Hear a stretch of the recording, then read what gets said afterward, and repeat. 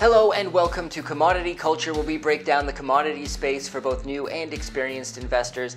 And today we're doing a deep dive into another uranium company, and that would be Energy Fuels. Now, before we get started, standard disclaimer none of this is investing advice. Do your own due diligence, and I do own shares in Energy Fuels. Now, before we dive in, I want to talk a little bit about investor psychology and investor biases in my own case, which is something that kept me away from Energy Fuels for a while while until I really came to my senses.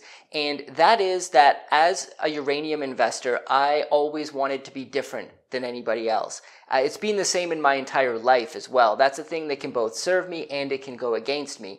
But when I first got into the uranium space, and I knew absolutely zero, and you're going to laugh at this, but I went through and all of the Reddit message boards on uranium, I paid close attention to and followed uranium Twitter, and I made sure to, whenever a company was mentioned or a company's ticker was mentioned, I would give it a point in this spreadsheet I had to just see amongst the retail crowd out there online what was the most popular company. And this seems crazy in terms of research, but this is when I was first starting out getting my lay of the land. I just wanted to understand which companies maybe I should be taking a look at. And by far and above, Energy Fuels came up as the most mentioned, the most talked about. Everybody was the most bullish about it. So you'd think that this was a company I would really want to look into, but for me, I like to go against the grain. And I thought, oh, everybody's interested in that company, so maybe I should be looking elsewhere. And that kept me away from Energy Fuels, from looking at it seriously for a while. And I just wanted to give that lesson to you guys that what brought me to my senses was that I did a poll on Twitter because for me, it was time to buy a uranium company in America because I like to uh, diversify geographically with my portfolio. And I put the question, which company should I be taking a look at? And once again, no surprise, Energy Fuels won out by quite a landslide, or it was quite close to Uranium Energy Corp, I think. But nonetheless, it caused me to take a closer look at the company and do a deep dive into it. And I have to say, I'm so glad I did because it is now the single largest position in my portfolio when it comes to uranium. Today we're going to talk about why. I've said this before, the very first thing I look at when I evaluate a company is debt.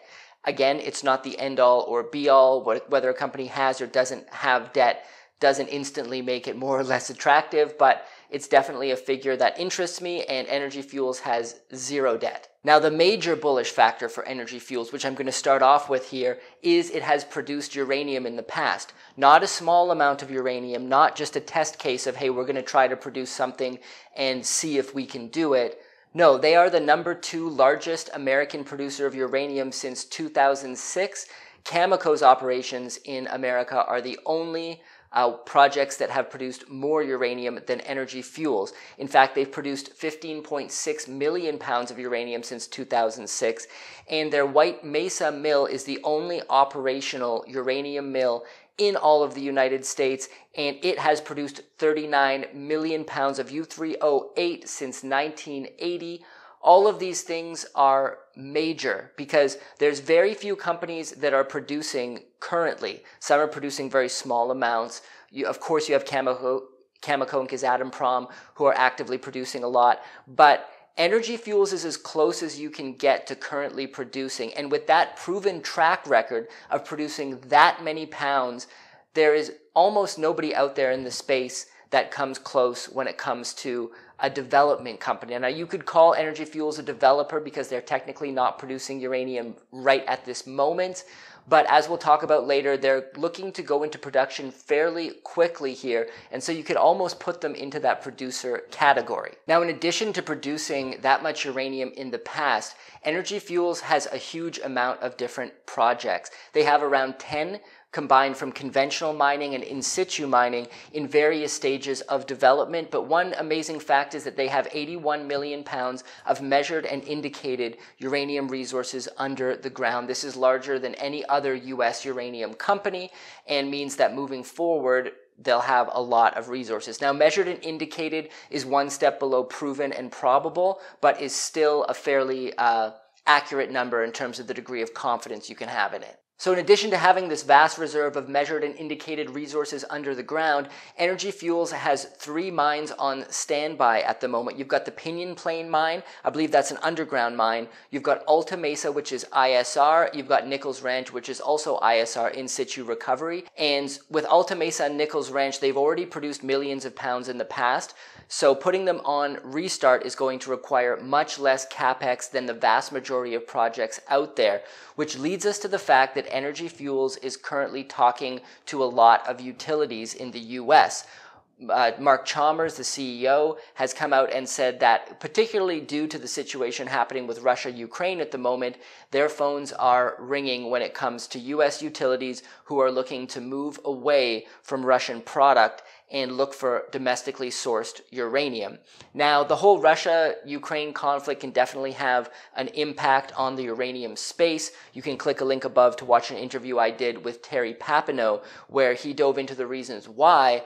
But I think even putting that situation aside, we're going to be looking for more domestically sourced uranium in the US due to the whole trend of deglobalization, breakdown of supply chains, um, and some other reasons as well. And they also already do have a uh, contract, long-term contracts with U.S. utilities through 2030. So this is a base quantity of 3 million pounds of uranium up to 4.3 million pounds starting in 2023. So that is a huge sign. Utilities are entering into long-term contracts again. Um, as particularly an American utility looking for a, a U.S. sourced product. I think this trend is going to continue. As we talked about, they're already getting phone calls and having those conversations. So I think we are going to see more lo- long term contracts announced potentially this year and in the years ahead. With all these factors in mind, Mark Chalmers has said that Energy Fuels is looking to potentially even start some uranium production this year in 2022. He mentioned the end of the summer as a potential date to begin uh, producing again, to put the mines back online. And if not, I think at least within the next one to two years, we're going to see production come out of energy fuels. I've said this before when I was talking about Global Atomic last week going into production. This is even more bullish because of how they've already proven they can produce millions of pounds, second largest producer besides Cameco in the US. Um, this is massive. Me personally, when we talk about investing in the uranium space, I don't mess with explorers. I try to take the least amount of risk possible for the highest reward.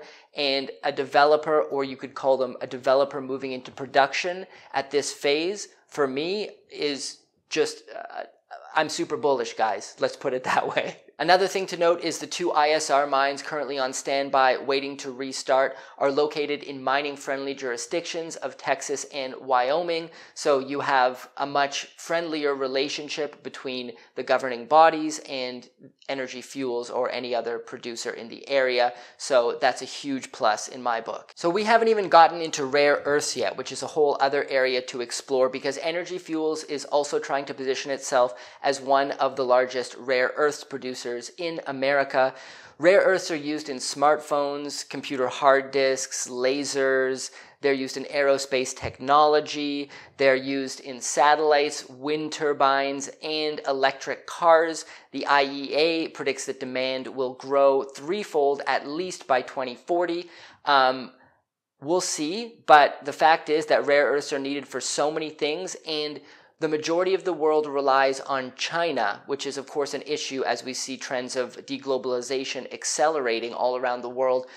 In fact, China produces 38% of rare earth supply, which is the largest chunk out of any country, but they refine over 60% of all rare earths used anywhere. So this is a real issue, particularly when it comes to where things are headed at the moment in China. We're seeing insane zero COVID lockdown policies where they'll just lock down entire cities seemingly for the hell of it.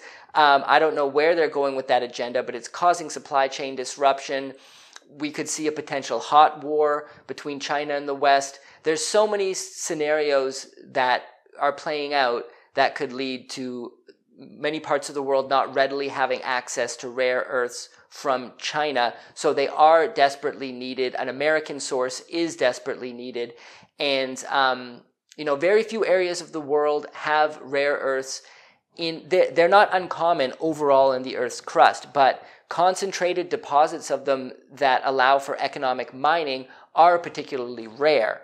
So, uh, Energy Fuels is currently processing monazite. So, monazite is a mineral that contains within it six rare earth elements. It has 55% rare earths by weight and that makes it one of the most critical and important minerals in the world at the moment, and this is what Energy Fuels is focusing on. Monazite sand is currently produced as a byproduct of heavy mineral sand mining around the world, and Energy Fuels is currently using this material to extract rare earths from.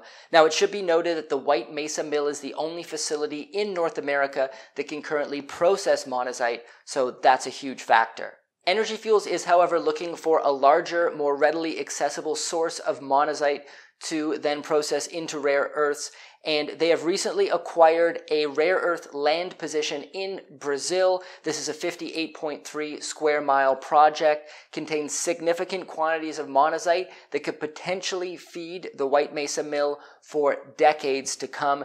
Now, this is a very recent development. This is something that anybody who holds shares in Energy Fuel should be keeping their eyes on. It is not a surefire bet. I do not believe we have any of the economics out yet in terms of how easily this monazite is to access, what the mining methods are that are going to be used, and the overall picture. So, not a surefire bet, but it's a very good sign and something to keep an eye on. So, as I mentioned, Energy Fuels has already been processing rare earths. There's a rare earth carbonate that's apparently a very high quality that they have been extracting from this monazite sand, and they have shipped it to a company called Neo Performance Materials for separation.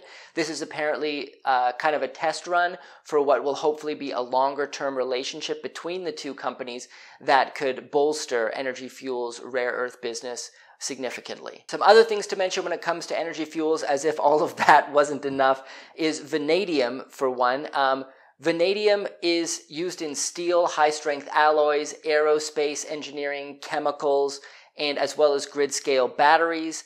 Um, it is not something that I look at really strongly when I'm taking a look at energy fuels. I look first and foremost at uranium and then rare earths, and then everything else is kind of a bonus.